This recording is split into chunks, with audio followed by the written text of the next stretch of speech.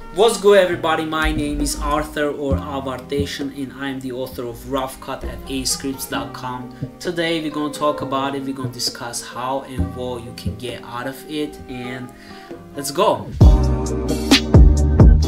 Okay, so to install Rough Cut we need two things, the extension itself and the ZXP installer. I'll use one by aescripts. You can use Rough Cut for free for 10 days, just click try and it will download the zip file. After download your OS version of the ZXP installer. After you download both files, first install the ZXP installer.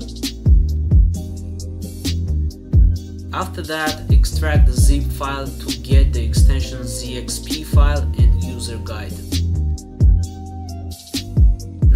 ZXP installer, drag and drop the ZXP file into it. It will start to install the extension and if you did alright it will finish successfully. But if you have problems installing it, please let me know by opening a support ticket with your aescripts account. Now that we have RoughCut installed, let's try it out.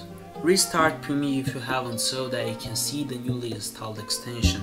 To open RoughCut, go to Window, Extensions, RoughCut for Premiere Pro. When you open it for the first time, a pop-up window will appear that will ask your permission on opening the background application that RoughCut is using. Click open and it will start loading the application. It may take some time. After it opens, you can see that it has three tabs. Analyze is where you give new videos to it to process. Insert is where you insert the processed videos to the sequence you want. And the settings tab, where you can change the cache folder, where all the cache files will be saved, and the colors used for each type of footage. Okay, so to start using it, select the videos you want to process from your project panel and click Analyze.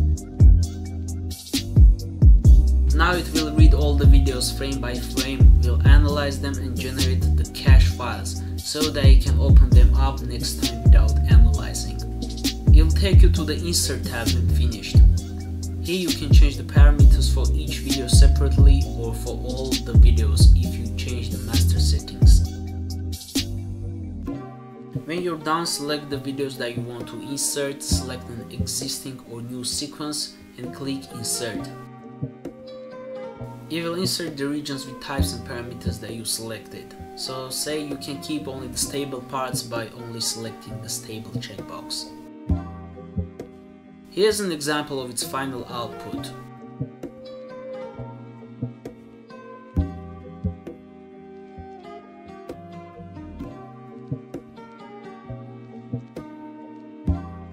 As you can see, the shaky parts are not always shaky, and this is because RoughCut is looking for drastic change of movement, not for an actual shake.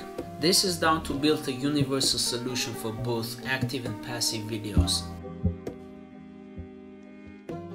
But what are scenes? If you insert the same video with the scenes option selected, you'll see that it colors some of the green regions or part of them yellow Scenes are the next step of filtering your footage and they are detected only on stable regions.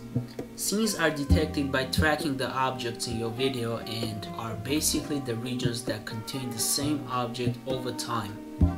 Scenes are useful for two reasons. They separate the smooth transition parts not detected by the shake detector and they make sure that the region is more or less about the same concept so you can watch the beginning of the scene and be sure that the same objects are present in the rest.